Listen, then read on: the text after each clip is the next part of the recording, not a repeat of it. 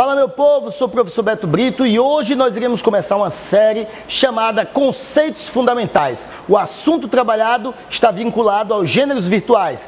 Petição online. Sabe o que é uma petição online? Não? Então chega mais.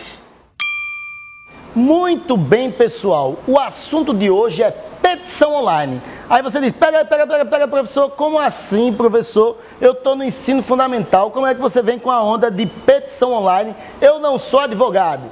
Quem disse que é, tem que ser advogado para poder fazer uma petição online?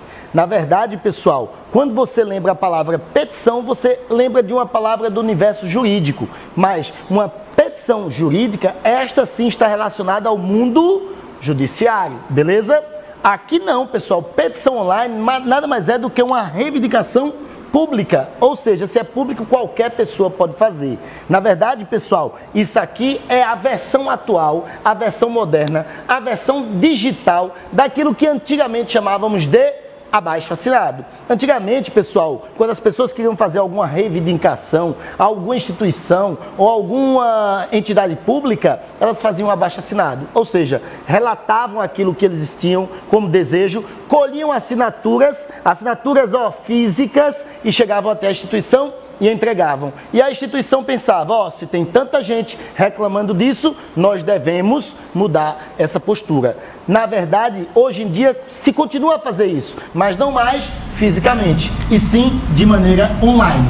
Ou seja, o que é a petição online? É uma baixa assinada digital, virtual, da modernidade, pessoal. Então, ó, aqui não se colhe mais assinaturas físicas, e sim assinaturas digitais, com o intuito pessoal de fazer o que chamamos de ativismo digital, ou seja, pessoas interessadas em mudar a sociedade colhem assinaturas digitais para poder fazer determinadas mudanças. Essas mudanças podem ser, pessoal, relacionadas a uma Câmara de Vereadores, Câmara de Deputados, Senado Federal e até instituições como o Prêmio Nobel. É, pessoal, lembram quando a Malala ganhou o Prêmio Nobel da Paz?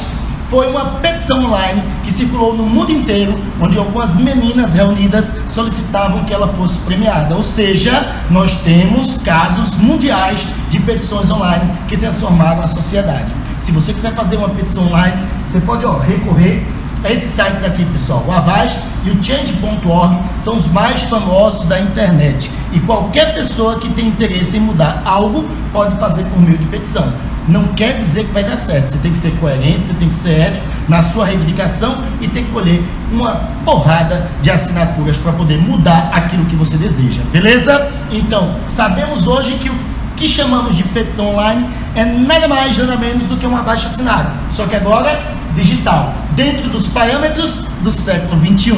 Isso começou a ser produzido, pessoal, no mundo na década de 90, mas se popularizou mesmo a partir desses últimos 10 anos na internet, ok? Se vocês gostaram desse conteúdo, vem aqui, ó, curte o nosso canal, se inscreve e compartilha em suas redes sociais. Falou, tchau, tchau!